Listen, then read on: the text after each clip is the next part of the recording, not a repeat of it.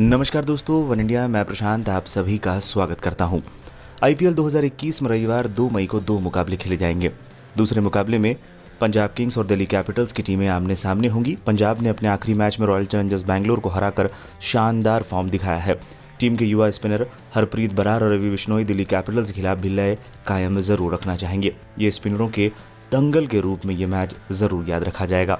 जहाँ दिल्ली के पास अक्षर पटेल और अमित मिश्रा हैं, वहीं पंजाब के पास हरप्रीत बरार और रवि बिश्नोई हैं। बरार ने रॉयल चैलेंजर्स बैंगलोर के खिलाफ पिछले मैच में उन्नीस रन देकर तीन, वहीं बिश्नोई ने उन्नीस रन देकर दो विकेट लिए थे। दोनों ने मिलकर आठ ओवर में केवल छत्तीस रन देकर बैंगलोर के पाँच विकेट चटकाए थे।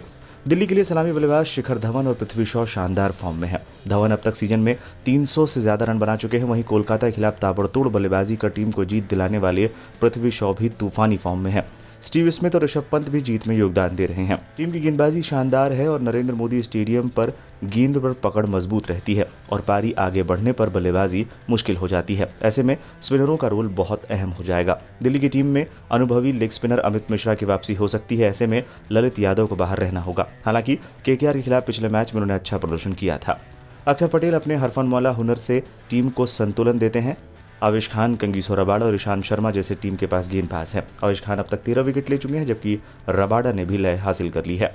पंजाब के लिए फॉर्म में चल रहे कप्तान के राहुल का बल्ला खूब चल रहा है। पिछले मैच में उन्होंने बेंगलुरु के खिलाफ संतावन गेंदों पर इक्यानवे रन बनाए थे। पिछले मैच में राहुल ने तीन बदलाव टीम में किए थे और तीनों ही खिलाड़ियों ने मैच में योगदान दिया था। पंजाब इसी फॉर्म को आगे भी बनाए रखना चाहेगी। टीम के लिए चिंता का विषय यही है कि कप्तान राहुल को छोड़कर कोई भी बल्लेबाज रन नहीं बना रहा है। क्रिस गेल ने पिछले मैच में हालाँकि एक तेज तर्रार पारी ज़रूर खेली थी, लेकिन निकोलस पुरन अब तक चार बार सीज़न में खाता नहीं खोल पाए हैं। आईपीएल में दोनों टीमें अब तक 27 बार आमने सामने हो चुकी है, जिसमें 15 बार पंजाब और 12 बार दिल्ली को जीत मिली है। पिछले सीज़न में जहाँ एक मैच दिल्ली को तो वहीं एक मैच पंजाब को जीत मिली थी।